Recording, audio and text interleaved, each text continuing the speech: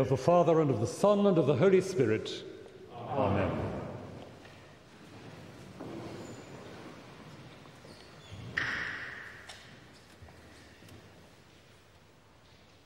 Tonight we are welcoming four people into the full fellowship of the Church. Life in Christ is life in the new creation, life called upon to realize a whole range of tasks and callings defined by Christ and by Christ's ministry in time and eternity. You're all going to be anointed this evening. It's a fairly modest procedure, and I can assure you it doesn't hurt a bit. But it signifies something of immense importance. The sort of people in the Bible who are anointed are prophets and priests and monarchs. And that is the risen life into which Christians are introduced the life of the prophet, of the priest, of the monarch. And in the light of Christ, what are those callings for you and for all of us? It's rather a shame that the word prophet or the word prophetic is sometimes thrown around these days as if it simply meant people capable of making a nuisance of themselves. Sometimes the prophets of ancient Israel made very substantial nuisances of themselves, but the essence of their calling was very simple to tell the truth, to see and to declare what their society needed to hear. To be a prophet is to be someone who speaks out, who names godlessness or injustice, violence, inequality, injustice, in whatever setting they find themselves. But also to speak out for the hope and the promise with which God surrounds us. When you in your confirmation tonight are anointed, it will be to become speakers out, those who declare unwelcome truths, but also hopeful truths in whatever context you find yourselves. And the gift of the Holy Spirit, which we pray for you tonight in that respect, is a gift of courage. Priests, too, are anointed. And once again, the task of the priest in Hebrew scripture is to be the person who keeps open the line of communication between the holy and the ordinary. The high priest in the first covenant is the one who passes into the Holy of Holies, that mysterious heart of the temple to make atonement, to make peace between heaven and earth, but comes out to declare this to the people. Your priestly task is to go on making that connection between the holy and the everyday. Because of the priestly work of Jesus Christ, who has passed into the inmost heavens, and taken us with him. You and all of us are given access to the heart of God's mystery. In silence and in adoration, we are taken into our ultimate home, and our worship and prayer here on earth are a preparation for that eternal silence and music which is the adoration of God. But to be able to do that and to let it show through you and speak to others of promise, that is the task laid upon you in your priestly calling as members of this priestly community living in Christ, the high priest. You are to find the mystery of God in the heart of everyday experience. To look and listen for the mystery of God in every human face you encounter. To honor God and be aware of his presence and his summons in every experience of the day. Like the righteous figures of Jewish rabbinical theology, your task is to restore the glory above and the glory below into one harmonious whole. And so, what we pray for you in your calling as priests is hopefulness and insight. But what do we make of the calling to be monarchs? It sounds the most ambitious of all these callings. But let's think once again of how kings are spoken of in Hebrew scripture. You remember perhaps Psalm 72 Give the king thy judgments, O God, thy righteousness to the king's son, to judge the nations according to righteousness.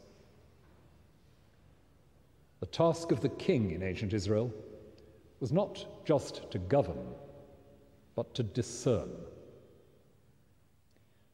to develop wisdom, practical and human insight, prudence, as the old books used to call it before the word became slightly embarrassing and archaic.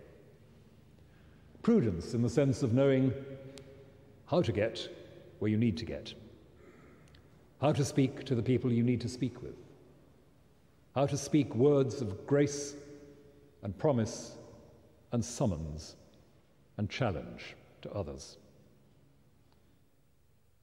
Give the king thy judgments, O God. Give the king discernment and wisdom to see what matters in a situation to see how best to bring something of the light and justice of God nearer to the surface.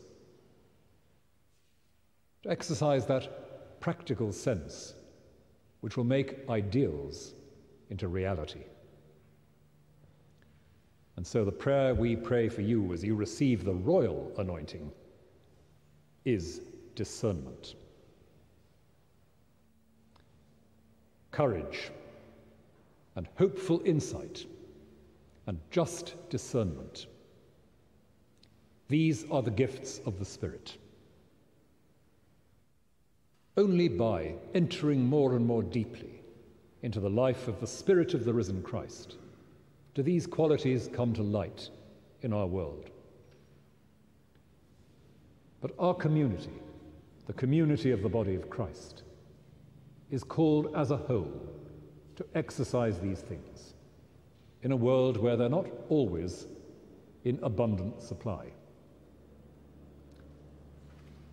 We look around us and we see what the lack of courage may mean. Conformity, laziness of thought, short termism, the inability to make necessary, hard decisions for ourselves and our society. We see often a lack of silence, a lack of the space for the mystery of God to come alive in our midst and open our hearts in a deeper patience and a wider vision, a more hopeful sense of what our world might be. We see a world where the exercise of power and authority is so often without discernment, just discernment. Whether it is in the violence of war or the more casual injustices to which we so easily become habituated in our own society. In the midst of all this, call of the risen Christ is to live out those three dimensions of his own work. He himself is the way, the truth, and the life, the one who speaks the truth prophetically. He is the one whose eyes and heart are always fixed upon the mysterious depth of his Father's love. And out of that depth, and out of his adoration of that depth, comes his healing and his service and his sacrifice. And it is he whose wisdom shapes the world afresh to be what it can be, to be true to what God has made it to be.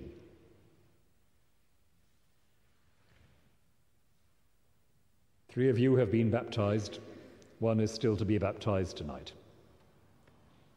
One of you asked me the other day, what difference does confirmation make to the baptized? It's, to put it mildly, one of those questions that theologians spend a great deal of their spare time on. And I will accordingly spare you the detail. But one thing we can at least say is that in baptism, it is as if, to use the great metaphors that this liturgy so often comes back to, it is as if you were dropped into the water to splash around, to roll around and paddle as you please for a bit. But gradually, the water becomes deeper, and you need to learn to swim. And the gifts of swimming, the gifts of adjusting your body, yourself, to the currents around you. Those are skills for which you need the teaching and presence of the Holy Spirit in a deeper intensity. And when tonight we pray for the Holy Spirit to come upon you in confirmation in a fresh way, it's not as if you are meeting Christ or Christ's Spirit for the first time, but it is as if an extra capacity of responding to the currents of God's love flowing around you is created in you.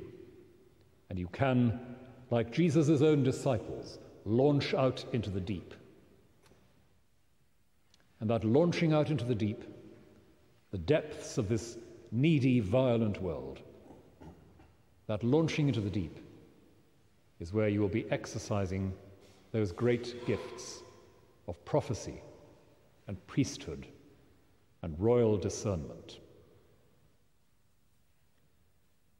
We pray all these things for you tonight, but we pray too for ourselves and for the whole of our church, that these gifts may live in us, live visibly and audibly and tangibly in us, so that the life of the risen Christ in courage and insight and just discernment may bring hope to the world, the hope of Jesus' risen life and Jesus' everlasting victory, which tonight we celebrate, saying once again those words which are at the very heart of our faith. Alleluia. Christ is risen. He is risen indeed. Christ is risen. Christ is risen. He is risen Hallelujah. Hallelujah.